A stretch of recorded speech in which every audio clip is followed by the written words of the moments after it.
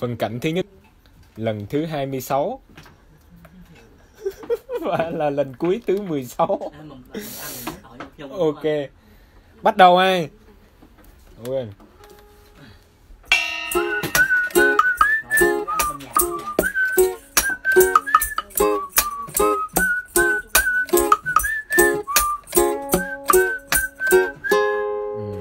Và lúc bóng tối khuất lối ông mặt trời, Và đèn đường lần lượt lên ngôi.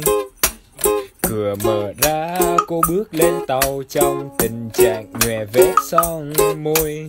Và trái tim hôm nay hoa đá, nhưng vẫn sống như đóa hoa tươi và muốn vô tư như bầy con nít nhưng thân xác đã qua ba mươi. Mà vì sao trên xe hôm nay không tiếng nói tiếng cười?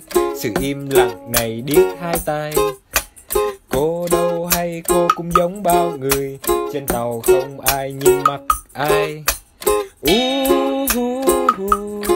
Người ta tăng ca khi trời đã tối thui. Và này cô ngó xuống tay một đường tàu mà không ai thấy vui Vậy thì thôi đành cha cha cha da da cha cha cha da da cha cha cha da da cha cha da cha cha cha cha da da cha cha da cha cha cha da da nhưng sao trên xe hôm nay hết ghế rồi Cô đành dựa lưng vào thanh sắt này Hôm nay nắng lên lên quá đỉnh đầu. Nhưng mưa lại tràn trong mí mắt. Và cô nổi cáu với thằng giám đốc Chỉ với tư cách một đứa nhân viên Và nói thật để mà bình tĩnh lúc đó Thì chắc cô không phải dân chuyên. Và còn nhiều điều ấm ức muốn nói.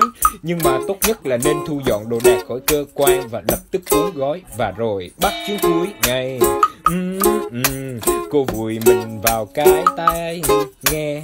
Cô chắc là không cần chăn gối vẫn là một giấc trên xe uh, uh, uh. tàu chạy rất lâu nhưng mà chưa về nhà mà này có sao đâu một ngày lấy hoay xung quanh cô vẫn thế cha cha cha da da cha cha cha da da cha cha cha da da cha cha da da cha cha cha da da cha cha da da cha cha da da Ừ. và lúc bóng tối khuất lối ông mặt trời, và đèn đường lần lượt lên ngôi.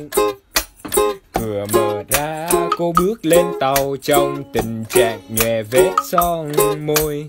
Và trái tim, hôm nay hoa đá nhưng vẫn sống như đóa hoa tươi và muốn vô tư như bầy con nít nhưng thân xác đã qua ba mươi. Mà vì sao trên xe hôm nay không tiếng nói tiếng cười?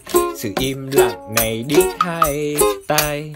Cô đâu hay cô cũng giống bao người. Trên tàu không ai nhìn mặt ai. Uh, uh, uh. tàu chạy rất lâu trên một con đường dài. Và này có sao đâu? Bài nhạc hôm nay không ai nghe ngày mai Cho nên thôi là phải bài Yeah! Wow.